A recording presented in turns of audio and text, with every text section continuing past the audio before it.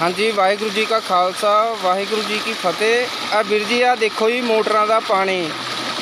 ਇਹ ਉਰੇ ਘਨੁੜਕੀ ਤੋਂ ਅੱਗੇ, ਟੂਲ ਪਲਾਜ਼ਾ ਤੋਂ ਅੱਗੇ ਇੱਕ ਕੈਮੀਕਲ ਦੀ ਫੈਕਟਰੀ ਸੀ, ਮਠਾਰੂਆਂ ਦੀ ਜੀ।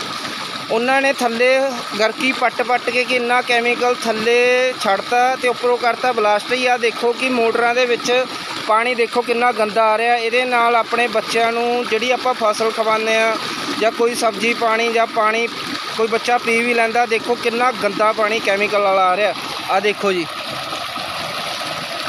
ਵੀਰ ਜੀ, ਨਾ ਇੱਥੇ ਕੋਈ ਪੰਜਾਬ ਸਰਕਾਰ, ਨਾ ਕੋਈ ਗੌਰ ਨਹੀਂ ਕਰਦਾ।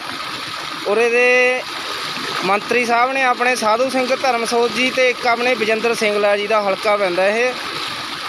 ਉਰੇ ਕੋਈ ਗੌਰ ਨਹੀਂ ਹੈਗੀ ਵੀਰ ਜੀ। ਆ ਦੇਖੋ ਇਹਦਾ ਹੱਲ ਕੀਤਾ ਜਾਵੇ ਜੀ। ਹਾਂਜੀ, ਵਾਹਿਗੁਰੂ ਜੀ ਕਾ ਖਾਲਸਾ, ਵਾਹਿਗੁਰੂ ਜੀ ਕੀ ਫਤਿਹ। ਆ ਵੀਰ ਜੀ ਆ ਦੇਖੋ ਜੀ ਮੋਟਰਾਂ ਦਾ ਪਾਣੀ।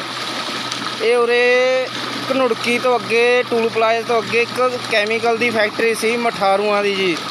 ਉਹਨਾਂ ਨੇ ਥੱਲੇ ਗਰਕੀ ਪੱਟ ਪੱਟ ਕੇ ਕਿ ਇੰਨਾ ਕੈਮੀਕਲ ਥੱਲੇ ਛੱਡਤਾ ਤੇ ਉੱਪਰੋਂ ਕਰਤਾ ਬਲਾਸਟ ਹੀ ਆ ਦੇਖੋ ਕਿ ਮੋਟਰਾਂ ਦੇ ਵਿੱਚ ਪਾਣੀ ਦੇਖੋ ਕਿੰਨਾ ਗੰਦਾ ਆ ਰਿਹਾ। ਇਹਦੇ ਨਾਲ ਆਪਣੇ ਬੱਚਿਆਂ ਨੂੰ ਜਿਹੜੀ ਆਪਾਂ ਫਸਲ ਖਵਾਉਂਦੇ ਆ ਜਾਂ ਕੋਈ ਸਬਜ਼ੀ ਪਾਣੀ ਜਾਂ ਪਾਣੀ ਕੋਈ ਬੱਚਾ ਪੀ ਵੀ ਲੈਂਦਾ, ਦੇਖੋ ਕਿੰਨਾ ਗੰਦਾ ਪਾਣੀ ਕੈਮੀਕਲ ਵਾਲਾ ਆ ਰਿਹਾ।